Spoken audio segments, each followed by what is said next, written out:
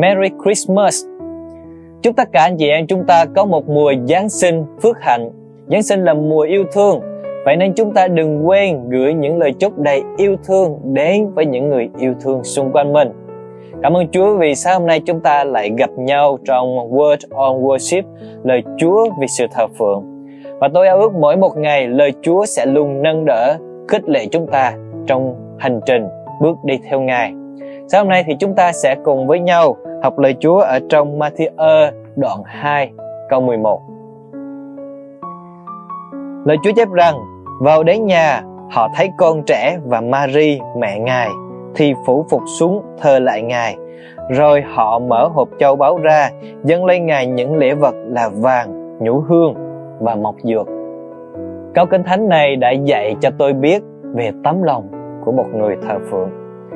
Tấm lòng của một người thờ phượng đó chính là phủ phục. Phủ phục là đầu phục, là quỳ xuống, là sấp mình, là tôn kính.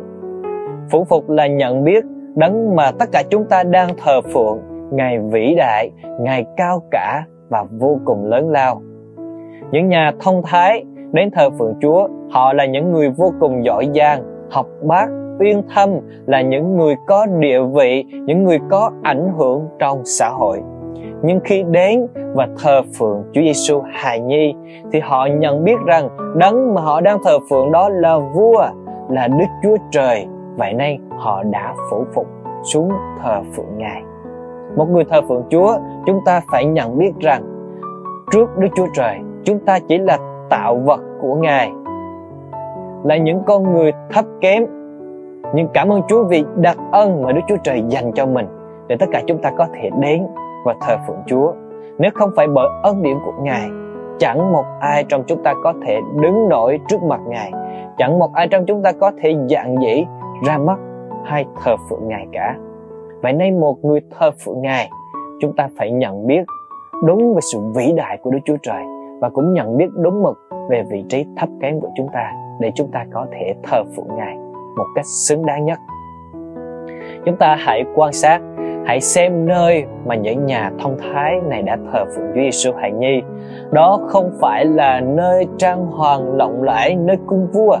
Nó cũng không phải là nơi có đầy đủ mọi thứ tiện nghi nhưng đó là nơi vô cùng nghèo nàn thiếu thốn nơi chuồng chiên bán cỏ điều này dạy cho chúng ta điều gì? Khi đến thờ phượng chúa, chúng ta phải biết một điều rằng ngài là đấng toàn tại. Ngài hiện diện ở khắp mọi nơi. Dù cho nơi đó là nơi nghèo nàn, bất tiện, thiếu thốn đến mức nào, như là chuồng chiên máng cỏ, có thể nơi chúng ta đang ở vô cùng thiếu thốn hay bất tiện, thì hãy luôn nhớ và biết chắc một điều rằng Đức Chúa Trời là đấng toàn tại và Ngài hiện diện với chúng ta mỗi một giây phút. Và điều Ngài quan tâm đó là tấm lòng, đó là sự phủ phục, đó là sự tôn kính mà chúng ta dành cho Ngài. Không quan trọng là chúng ta đang ở đâu, mà quan trọng là tấm lòng của chúng ta như thế nào khi chúng ta đến và thờ phượng Chúa. Giáng sinh có thể là một à, mùa bận rộn đối với nhiều anh chị em của chúng ta. À, có thể đây là thời điểm chúng ta sẽ à, sửa soạn lại nhà cửa vừa để đón Giáng sinh nhưng cũng vừa để đón năm mới. Chúng ta à, lên kế hoạch để thăm một vài người yêu thương của mình để tặng quà. Rồi còn nhiều người nữa trong anh chị em chúng ta sẽ tập luyện để chuẩn bị cho chương trình chính lễ Giáng sinh. Nhưng dầu bận rộn như thế nào thì tôi ao ước rằng tất cả chúng ta đều dành đủ thời gian để ở riêng với Chúa, để suy ngẫm, để trải nghiệm tình yêu mà Đức Chúa Trời dành cho mình. Giáng sinh là mùa yêu thương. Đức Chúa Trời bày tỏ tình yêu thương của Ngài dành cho chúng ta. Ngài đã ban cho chúng ta Chúa Cứu Thế Giêsu. Vậy nên tôi ao ước rằng tất cả chúng ta đều thật sự trải nghiệm tình yêu Đức Chúa Trời dành cho cá nhân của mỗi một người. Đừng để cho sự bận rộn, cướp mất đi thời gian đáng giá, đáng quý, đáng trân trọng của anh chị em chúng ta khi có được khi ở với Chúa. Chúa Giêsu Ngài là con của Đức Chúa Trời, nhưng Ngài cũng là Đức Chúa Trời. Và đấng đó đã bằng lòng Giáng sinh trong nơi tầm thường nhất, thấp hèn nhất để tất cả chúng ta dù là ai đi chăng nữa ở vị trí nào đi chăng nữa chúng ta có thấp kém đến mức nào đi chăng nữa thì cũng hãy biết rằng Đức Chúa Giêsu đã đến là để cho tất cả chúng ta thưa anh chị em đó là ân điển đó là điều đáng trân quý và đáng để chúng ta mỗi một ngày tận dụng thì giờ để đến và thờ phượng Chúa. Ngài đang dành cho chúng ta cơ hội tốt nhất. Chúa muốn chúng ta đến với Ngài mỗi lúc.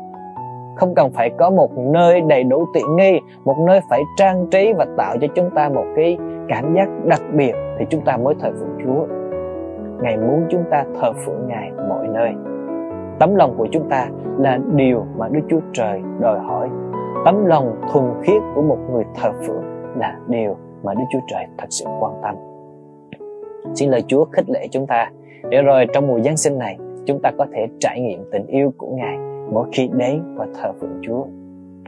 Muốn thật hết lòng, xin mời anh chị em chúng ta cùng đứng lên và hãy đến với Chúa. Cảm ơn Chúa vì thời gian Ngài ban cho chúng ta buổi sáng hôm nay. Chúa ơi con biết ơn Ngài rất là nhiều vì lời Ngài Sao hôm nay dạy dỗ cho chúng con một lần nữa về sự thờ phượng. Và con biết rằng Đức Chúa Trời của chúng con Ngài là đấng nhìn thấy tấm lòng Ngài quan tâm đến tấm lòng của chúng con hơn tất cả những điều xung quanh hay là những vẻ bề ngoài của chúng con.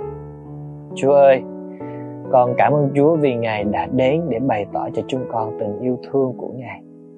Con cầu nguyện xin Chúa ngày cho chúng con mùa Giáng sinh này tất cả chúng con đều trải nghiệm được tình yêu thương của Chúa mỗi khi chúng con đến thờ phượng, mỗi khi chúng con đến dành thời gian để ở riêng với Ngài. Xin Chúa giúp chúng con để rồi những bận rộn không đánh cắp đi thời gian của chúng con dành cho Chúa. Chúng con yêu Ngài, biết ơn Ngài vì mỗi một ngày sống trên đất, chúng con nhận ra giá trị của chúng con ở trong Ngài. Đó là được ở trong Chúa, đó là được thờ phượng Chúa, đó là được trải nghiệm tình yêu đời đời Chúa dành cho chúng con. Biết ơn Ngài thật nhiều lắm. Xin Chúa ban phước để tất cả chúng con có một mùa Giáng sinh phước hạnh. Chúng con yêu Chúa, tôn cao Ngài và chúng con hết lòng trong sự cầu nguyện. Nhân danh Chúa Jesus Christ. Amen. Cảm ơn anh chị em vì đã dành thời gian quý báu của mình để nghe sự chia sẻ của tôi sáng hôm nay. Xin Chúa ban phước trên tất cả chúng ta. Một lần nữa, Merry Christmas, Giáng sinh an lành đến trên anh chị em và hẹn gặp lại anh chị em vào tuần tới.